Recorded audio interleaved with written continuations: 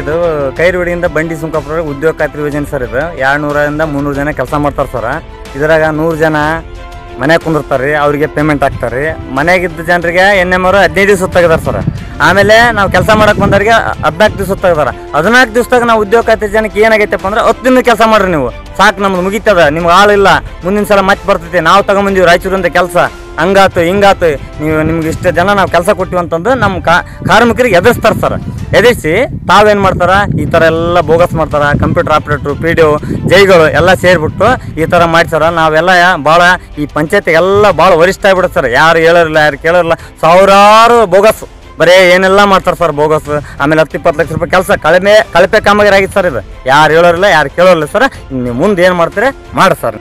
ಕೈವಾಡಿಯಿಂದ ಬಂಡಿ ಸುತ್ತಾಪುರವರೆಗೆ ರಸ್ತೆ ರಸ್ತೆ ನಿರ್ಮಾಣ ಆಗ್ತಾ ಇದೆ. ಬಟ್ ಎನ್ ಆರ್ ಜಿಯಲ್ಲಿ ಎನ್ ಆರ್ ಜಿಯಲ್ಲಿ ಎನ್ ಆರ್ ಜಿ ವರ್ಕಲ್ಲಿ ಕೆಲಸ ನಡೀತಾ ಇದೆ. ಇನ್ನೂರಿಂದ ಇನ್ನೂರ ಎಪ್ಪತ್ತು ಜನ ಕೆಲಸ ವರ್ಕ್ ಮಾಡ್ಬೇಕಂತ ಇದು ಎನ್ ಆರ್ ಜಿಯಲ್ಲಿ ಐತೆ. ಇನ್ನೂರು ಜನ ಕೆಲಸ ಕೊಟ್ಬಿಟ್ಟು ಎಪ್ಪತ್ತು ಜನಕ್ಕೆ ಮನೇಲಿ ಇರೋರಿಗೆ ಪೇಮೆಂಟ್ ಮಾಡ್ತಾ ಇದ್ದಾರೆ ಮನೇಲಿ ಇರೋರಿಗೆ ಪೇಮೆಂಟ್ ಮಾಡಿಬಿಟ್ಟು ಉಳಿದ ಇನ್ನೂರು ಜನ ಕೆಲ್ಸಕ್ಕೆ ಹೋಗೋರಿಗೆ ಏನು ಹೇಳ್ತಾರೆ, ಈ ಥರ ಕಾಯ್ದೆ ಕಾನೂನುಗಳು ಕೇಳಕ್ಕೆ ಹೋದ್ರೆ ಇನ್ನೂರು ಜನಕ್ಕೆ, ಏ, ನೀವು ಒಂಬತ್ತು ಗಂಟೆಗೆ ಬಂದ್ರೆ ಮೂರು ಗಂಟೆವರೆಗೆ ಮಾಡಿರಿ. ನೀವು ಯಾಕೆ ಜಲ್ದಿ ಹೋಗ್ತೀರಿ?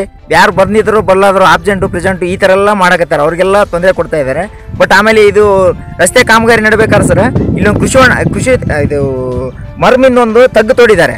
ಆ ತಗ್ಗು ಆ ತಗ್ಗು ಏನಾಗುತ್ತೆ ಅಂದರೆ ಮುಂದಿನ ದಿನಮಾನಗಳಲ್ಲಿ ಅದನ್ನು ಕೃಷಿ ಹೊಂಡ ನಿರ್ಮಾಣ ಮಾಡಿ ದುಡ್ಡು ಎತ್ತೋ ನಮ್ಮ ಪಂಚಾಯತಿಯಲ್ಲಿ ಇದ್ದಾರೆ. ಆ ರೀತಿಯಾಗಿ ಸಂಬಂಧಪಟ್ಟ ಅಧಿಕಾರಿಗಳು ಏನಾದಾರೆ ಅಂದರೆ ಭಾಳ ಇದಾದರೆ ಜೈ ಇ ಮತ್ತು ಪಿ ಮತ್ತು ಕಂಪ್ಯೂಟರ್ ಆಪರೇಟರ್ ಇವ್ರು ಮೂವರು ಶಾಮೀಲಾಗಿ ಮತ್ತು ಒಬ್ಬರು ಗ್ರಾಮ ಪಂಚಾಯತ್ ಮೆಂಬರ್ ಇದ್ದಾನೆ ಅದರಲ್ಲಿ.